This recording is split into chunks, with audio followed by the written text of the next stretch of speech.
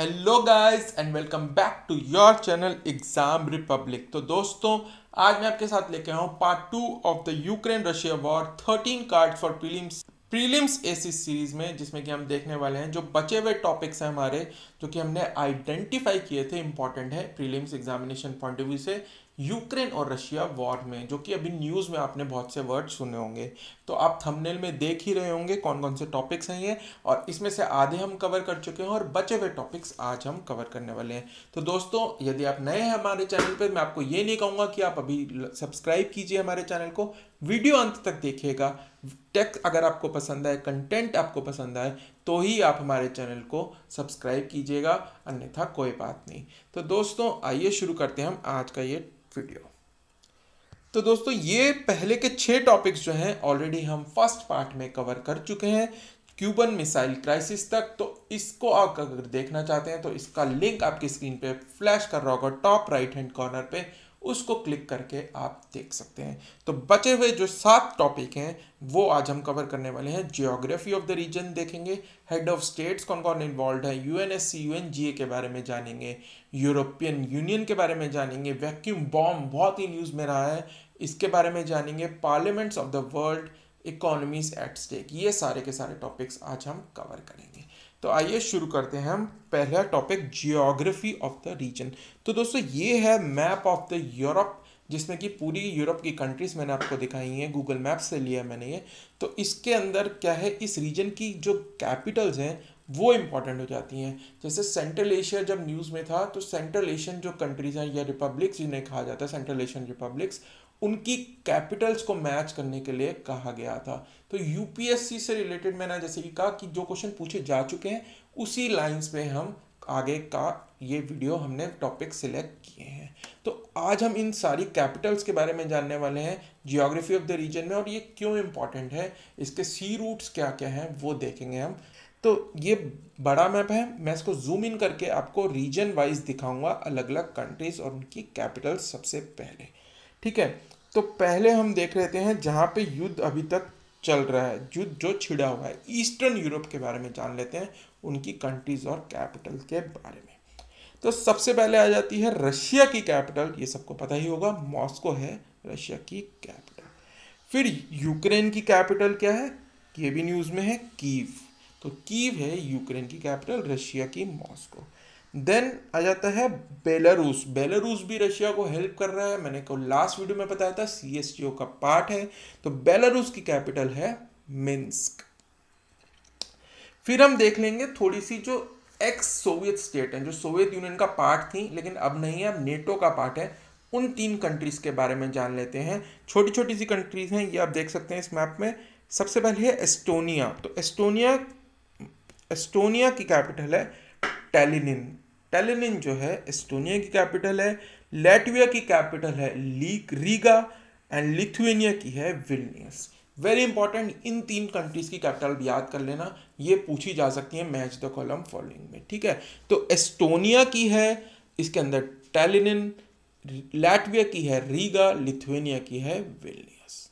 Right फिर आ जाते हैं हम बॉर्डरिंग कंट्री जहाँ से ये एवैक्यूएशन प्रोसेस करे जा रहे हैं यूक्रेन से। तो पोलैंड है सबसे इंपॉर्टेंट कंट्री वॉर्सो इसकी कैपिटल है।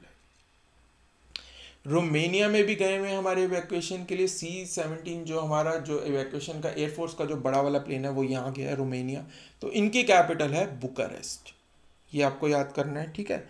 फिर मल्डोवा जो है, उसकी कैपिटल है किसनाव एंड हंगरी की कैपिटल है बुदापेस्ट ये आपको पता होगा काफ़ी लोगों को।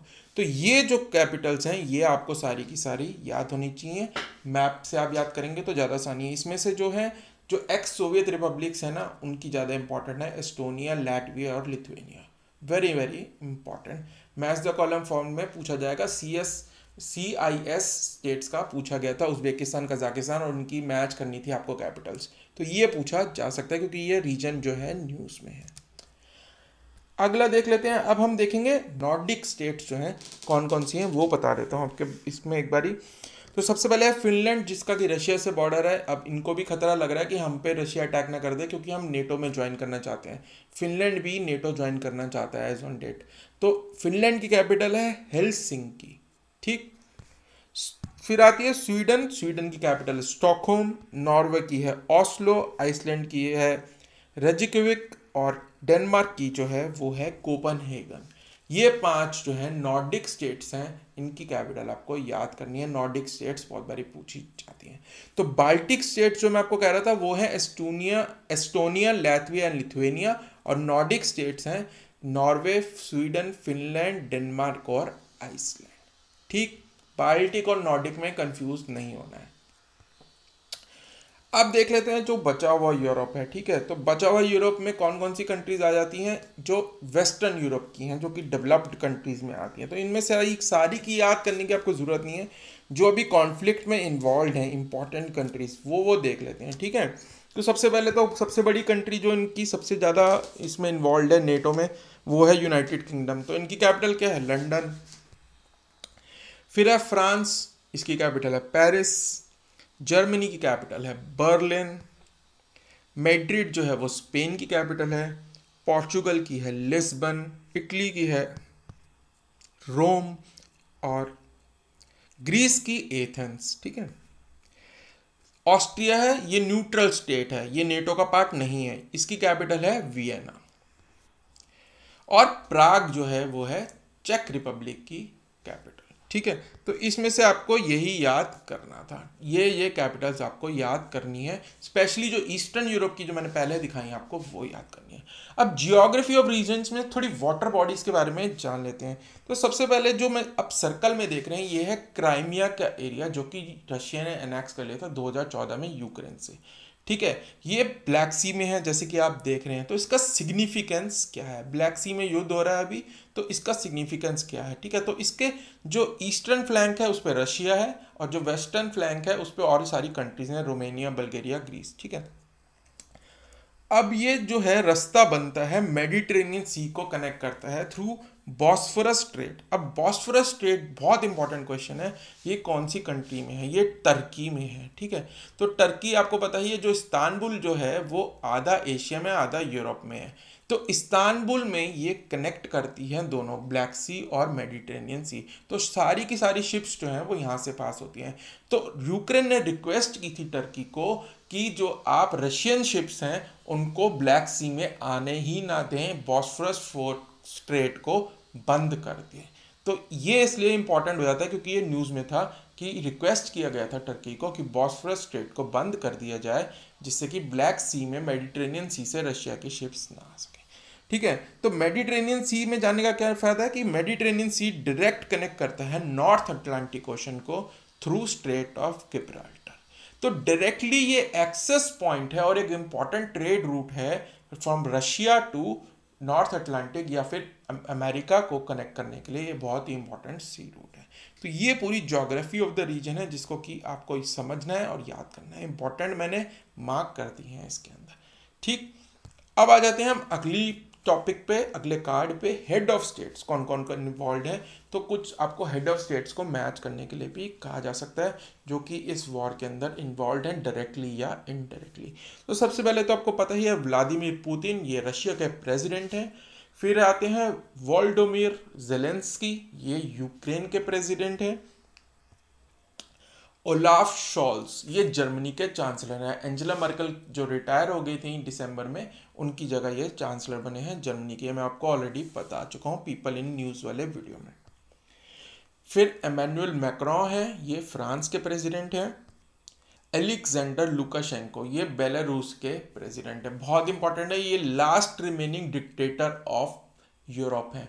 यूरोप में लास्ट डिक्टेटर यही बचे हैं बेलारूस के, जो कि रशिया की हेल्प कर रही है। इसलिए ये पर्सन का नेम इंपॉर्टेंट हो जाता है Alexander Lukashenko Boris Johnson UK के प्राइम मिनिस्टर हैं जो बाइडन यूएसए के प्रेसिडेंट और लास्टली ये भी इंपॉर्टेंट है ईयू की रोज आप सुनते होंगे, ईयू में प्रस्ताव रखा गया है यूक्रेन को ज्वाइन कराने का।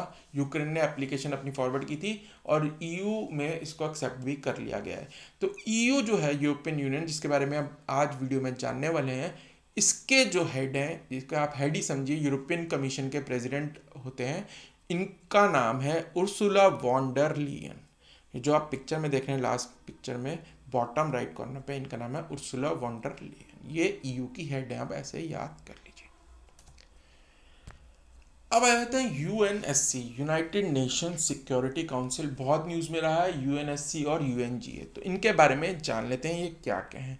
तो यू एन एस सी के बारे में जानते हैं पहले। U N S C is one of the six principal organs of U N U N की छः ऑर्गन्स हैं, उनकी, उनमें से यू एन एस सी एक इंपॉर्टेंट ऑर्गन है, जिसका कि काम क्या है? Ensuring international peace and security admission of new U N members to General Assembly approving changes to UN charter basically ये जो है, ये एग्जीक्यूटिव और लेजिस्लेचर जो होते हैं, किसी भी पार्लियामेंट जैसे हमारी एग्जीक्यूटिव क्या है, जो हमारी सेंट्रल गवर्नमेंट है यूनियन गवर्नमेंट है, और जो पार्लियामेंट है, वो हमारा लेजिस्लेचर है। तो यू आप समझ सकते हैं, ये एग्जीक्यूटिव का काम करती है, और जो यू है, वो असेंबली का काम करती है, या लोकसभा का काम करती है। ऐसे समझ लीजिए। ठीक? तो यू में ये तीन इनके फ़ंक्शंस हैं, ठीक है? ये क्या ऑथराइज करते हैं पीस कीपिंग मिशन अलग अलग वर्ल्ड के कोने में? इंटरनेशनल सैंक्शंस लगाते हैं अलग अलग कंट्रीज़ पे और मिलिट्री एक्शन को ऑथराइज भी करते हैं ये। तो ये जो पिक्चर में देख रहे हैं, ये इनका सदन है जहाँ पे इनकी मीटिंग्स होती हैं। ठीक है? तो यू तो ये है और इसके बारे में थोड़ी सा और जान लेते हैं। U N is the only U N body with authority to issue binding resolution on member state तो ये बाइंडिंग रेजोल्यूशन जो हैं मेंबर स्टेट्स पे यही सिर्फ़ एक ऑर्गन है यूएन की, जो कि अप्लाई कर सकती है। चौबीस अक्टूबर 1945 पे इसको बनाया गया था। इसमें पाँच परमानेंट मेंबर हैं और टेम्परेरी मेंबर्स हैं टेन ठीक है तो पाँच परमानेंट मेंबर्स तो सबको पता है, जिनके पास वीटो पावर है और दस टेम्परेरी मेंबर्स हैं, जो कि दो दो साल के लिए इलेक्ट किए जाते हैं और इनमें जो है इंडिया अभी जो एट प्रेजेंट है, एक टेम्परेरी मेंबर है। हेडक्वार्टर है न्यूयॉर्क में और पाँच परमानेंट मेंबर्स कौन कौन से? USA UK France Russia and China तो ये तो था ब्रीफ में यूएनएससी के बारे में। अब यूएनजी के बारे में जान लेते हैं, जैसे कि मैंने कहा ये असेंबली है, ठीक है? तो यूनाइटेड नेशन जनरल असेंबली और ये पॉलिसी मेकिंग ऑर्गेनाइजेशन है। तो जैसे कि लोकसभा का काम क्या है? लॉ बनाना या पॉलिसीज़ बनाना। तो इनका भी काम क्या है? पॉलिसी बनाना। इसके अंदर वर्ल्ड में जितनी भी कंट्रीज़ यूएन को मानती हैं यूएन से एफिलेटेड हैं, वो सारे की सारी मेंबर्स हैं और सबको इक्वल वोट दिया गया है। एट प्रेजेंट 193 मेंबर स्टेट्स हैं और सबका इक्वल वोट होता है। किसी भी बारे में डिस्कशन होती है तो सबको इक्वल वोट दिया जाता है। इसके अंदर यू यूक्रेन में जो रशियन इन्वेजन का एग्रेशन जो है रशिया का, उसको कंडेम करने के लिए एक रेजोल्यूशन लाया गया है। तो उसके अंदर सबको इक्वल वोट दिया गया है उस पर वोटिंग करने के लिए। ठीक है तो सिर्फ़ एक रेजोल्यूशन पास कर सकते हैं, लेकिन बाइंडिंग नहीं होगा। जैसे कि अगर यूएनएससी में पास हो जाए तो वो बाइंडिंग होगा, ठीक? अब इसके अंदर इसके फ़ंक्शंस देख लेते हैं क्या क्या इंपॉर्टेंट है। तीन बेसिकली इंपॉर्टेंट फ़ंक्शन है। ये सेक्रेटरी जनरल को अपॉइंट करते हैं on recommendation of security council तो at present secretary general of UN कौन है? एंटोनियो ग्रूटेस ठीक है? तो ये आपको पता होना चाहिए। पोर्चुगल के हैं वो। और electing non permanent banker members of security council उनको इलेक्ट करती है यूएन का बजट अप्रूव करती है, ये इसके तीन प्रिंसिपल काम है। हेडक्वार्टर कहाँ है? न्यूयॉर्क में ही है। और प्रेसिडेंट ये मैं आपको बता चुका हूँ पीपल इन न्यूज़ वाली में कि अब्दुल्ला शाहिद, ये जो कि मालदीव्स के हैं, इस सेशन के seventy six session of UNGA के जो है प्रेसिडेंट है। और ये 1945 में ही बनाई गई थी आफ्टर वर्ल्ड वॉर तो ये था यूएनएससी और यू के बारे में। अब एक ऑर्गेनाइजेशन और बची है, वो देख लेते हैं जो कि न्यूज़ में है, यूरोपियन यूनियन। तो जैसे कि मैंने बताया कि जो उनकी हेड है, उर्सुला वॉन्टेड लेन उनके साथ देख लेते हैं और कौन, इनकी इंपॉर्टेंट चीज़ें क्या क्या आपको पता होना चाहिए प्रीलिम्स पॉइंट ऑफ़ व्यू से, ठीक है? तो यूरोपियन यूनियन जो है, वो एक political and economic union of twenty seven member states that are located in Europe तो यूरोप की सत्ताईस कंट्रीज़ का मेंबर है। ब्रेक्जिट आपको पता होगा, वो इससे रिलेटेड है कि जो यूरोपियन यूनियन से बाहर हो गया था ब्रिटेन तो वो ब्रेग्जिट कहा गया था। तो ये यूरोपियन यूनियन के अंदर अब ट्वेंटी सेवन स्टेट्स हैं। ये इकोनॉमिक यूनियन है, यानी कि फ्री ट्रेड यूनियन के लिए इसको बनाया गया है amongst member states Maastricht treaty came into force in 1993 और इसको यूरोपियन यूनियन बन गया था। तो क्वेश्चन पूछा जाता है कि मैस्टरिच ट्रीटी किससे रिलेटेड है? वेरी वेरी इंपॉर्टेंट बहुत बारी पूछा गया है। तो मैस्टरिच ट्रीटी रिलेटेड है यूरोपियन यूनियन से और ये बनाई गई थी 1993 में। A single market has been establish to standard system of law that apply to all market तो ये इंटरनल सिंगल मार्केट है, जैसे इंडिया में आप अलग अलग स्टेट में ट्रेड कर सकते हैं, वैसे ही इसमें आप जा सकते हैं। Free movement of people goods and services and capital allowed होती है इसके अंदर। जैसे इंडिया में आप कहीं भी इन्वेस्ट कर सकते हैं कहीं भी आप घर ले सकते हैं, कहीं भी आप सेल कर सकते हैं जॉब कर सकते हैं तो वैसे ही इन्होंने एक सत्ताईस कंट्री की बना रखी है, ठीक? हेडक्वार्टर्स है इनका ब्रसल्स बेल्जियम में। सारे की सारी जो इंस्टीट्यूट इंस्टीट्यूशन हैं यूरोपियन यूनियन के, जो हम देखने वाले हैं अगली स्लाइड में, वो ब्रसल्स में है except for bank and court of auditors ठीक है? तो छः बेसिकली इंपॉर्टेंट इंस्टीट्यूशन है, यू के शॉर्ट में देखेंगे, बहुत ही यूरोपियन काउंसिल सबसे पहले, ठीक है? तो यूरोपियन काउंसिल क्या it brings together head of state of the तो जो कंट्रीज़ हैं यू की, उनके हेड ऑफ़ स्टेट्स जब एक साथ मिलते हैं, उसको यूरोपियन काउंसिल कहा जाता है और वो पॉलिटिकल डायरेक्शन प्रोवाइड करते हैं यू की। सेकेंड है काउंसिल ऑफ़ यूरोपियन यूनियन तो यूरोपियन काउंसिल और काउंसिल ऑफ़ यूरोपियन यूनियन में कंफ्यूज नहीं होना है, ठीक है?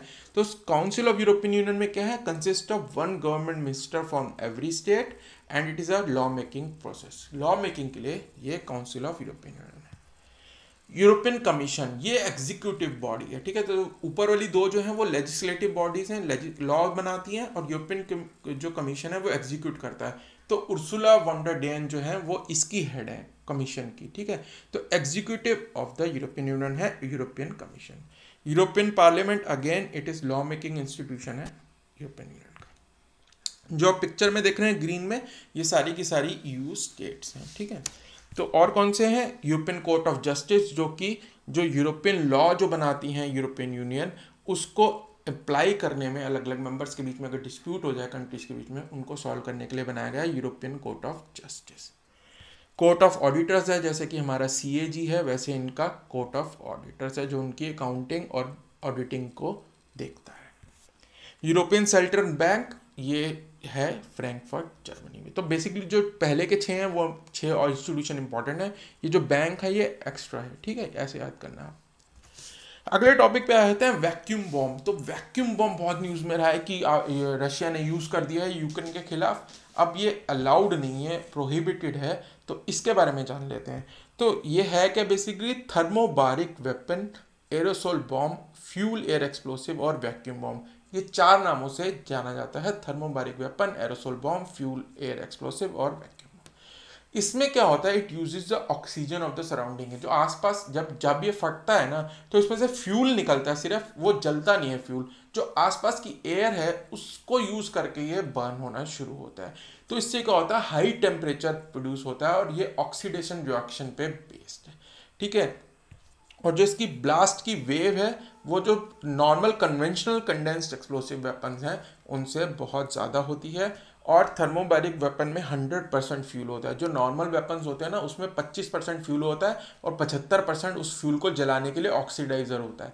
तो वो ऑक्सीडाइजर जो है फ्यूल को जला देता है। इसके अंदर क्या है हंड्रेड परसेंट फ्यूल है, क्योंकि आसपास की ऑक्सीजन लेके जल जाएगा और इसीलिए ये ज़्यादा खतरनाक एक वेपन है।